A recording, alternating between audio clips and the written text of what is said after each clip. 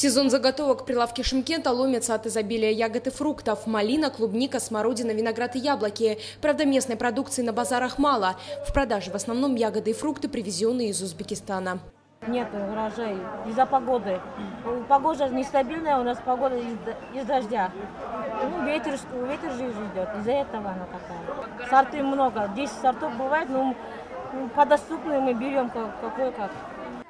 Отсутствие местных ягод и фруктов на прилавках существенно отразилось и на цене. Так, стоимость винограда варьирует от 350 до 700 тенге, смородины от 650 до 800 тенге, малины от 750 до 900 тенге за килограмм.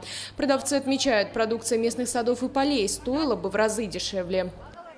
Мы за перевозку платим, плюс налоги. Сверху на килограмм ставим всего 10-20 тенге. Это немного. Правда, без возмещения дополнительных расходов фрукты стоили бы намного дешевле. А вот Дихкане области обильным весенним осадкам только рада. В этом году благодаря погодным условиям аграрии собирают небывалый урожай зерно-колосовых культур. В среднем 22 центнера с гектара. Сейчас в амбарах лежит 416 тонн пшеницы и ячменя. Полностью закончить сбор планируется уже к концу недели.